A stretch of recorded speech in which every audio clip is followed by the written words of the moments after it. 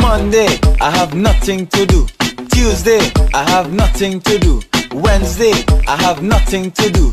Tuesday, I have nothing to do. Friday, Saturday, nothing to do. Sunday, I have nothing to do.